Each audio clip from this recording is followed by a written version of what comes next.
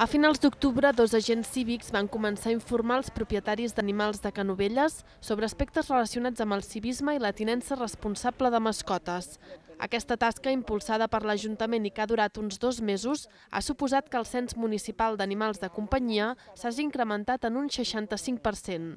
Els agents han informat 663 persones, de les quals el 70% no tenien algú censat, la majoria per desconeixement, i el 33%, 154 animals, no portaven xip. Com a dada positiva, s'ha detectat que el 80% dels encastats ja disposaven de bosses per recollir els excrements dels seus animals. Ara es farà un seguiment de la campanya per consolidar-ne els resultats.